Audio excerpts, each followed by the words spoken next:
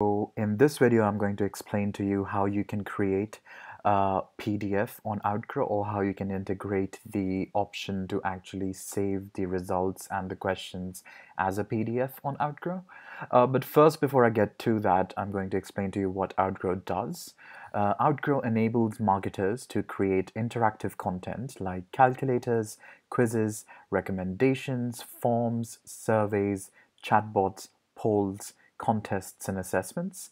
Now, these high converting and personalized uh, and viral experiences add real value to the customer, enable new levels of engagement, and generate helpful data that you can use to qualify and segment leads. So once you're on your on the Outgrow website, you can just check out the eight different types of content that you can make, and in most cases, you can also combine one content type with another, and then you can have a complicated and complex and multifunctional widget that will address a lot of your customers' needs quite easily. So if you want to know what you want to build, for instance, you can start by going to templates and then you can search by industry. And in that, you'd be able to see uh, a lot of uh, examples particular to your industry. All the industries are listed here, and there's some examples that are listed here. And if you want to search anything by the keyword, you can do it here as well. Uh, and once you have checked one out, you can just click on preview and it will show you the particular experience. You can just, and if you like it, then you can click on build your own and that would take you to the dashboard automatically. Now I'm already logged in, so I'm just going to go directly to the dashboard and I'm going to show you one particular example uh, where you can enable the save as PDF function.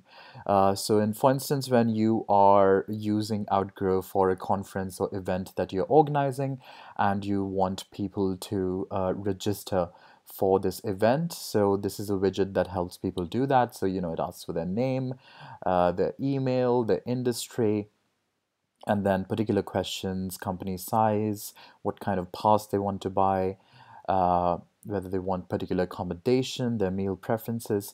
Now, when people answer all of this, uh, so that they usually uh, forget how they answered it. So it's always nice to have in the options, in the result options, it's always nice to have a little uh, button that allows them to download everything that they've answered so that they have a copy of how they answered it. So currently it's been set to redirect people to a particular uh, URL, this button, but you can also set it to save as PDF and then you can just uh, the the you can just type here saying uh, save your results, you know, uh, save your results for later or you know download your results for later or like you know uh, save a copy of your results of your answers. So you can do that. So you can just add any kind of text that you want. Uh, currently, I'm just going to put it to what it was earlier. Uh, but this is the uh, way you can enable the Save as PDF uh, option. And then out here in this little subtext, you'll see how you can configure the PDF that is saved. So if you click on this little configure hyperlink, it will take you to the configure tab directly to the saved results as PDF uh, section. And here you can add everything that you want to uh, have people uh, enable people to be able to save. So for instance, the answer to question one, the answer to question two, uh, and so on and so forth, all the question types, and then UTM source, medium, campaign, term, content, all of this can be saved. And I'm just like showing the variables here, but what you can also do is, of course, uh, add text. So you can say your answer to Q1 uh, to the first question was this. Or you can frame this whole thing as a very readable email. So, you know, you can say, hi, hi, and then if you ask them for their name in the uh, lead details, then it will, uh, so for instance, here's please enter your name. So you can say, hi, Q1. So that will automatically just show their name and then uh, it, then you can add a particular paragraph in a conversational way with these variables is what I'm trying to say. So you can make something sensible out of these. So that's what you can do with the configure PDF details. You can also in insert images, you can change the colors, and you can also add a table if you want. So it's all up to you, and you can you also have the option of a code view. So if you want to like really customize it, you can uh, click on code view and do that yourself.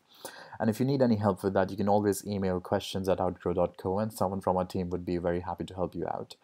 And once you've done all of this, and uh, you just need to click on publish, and once your uh, content piece is live people will be able to then take it. Uh, I'm just going to open it live. They, they start like here they'll enter details and as they go along uh, they'll be able to answer all these questions and you know and all of this and then when they get to the results page uh, they'd just be able to download it I've, I didn't change the button text in the end but you know this would automatically initiate a downloading uh, function and it would save as a PDF and they'd be able to then uh, access this PDF from their computers. And that's in short how you can uh, enable the save as PDF function in Outgrow. And if you have any questions regarding this, feel free uh, to email questions at outgrow.co. Thank you.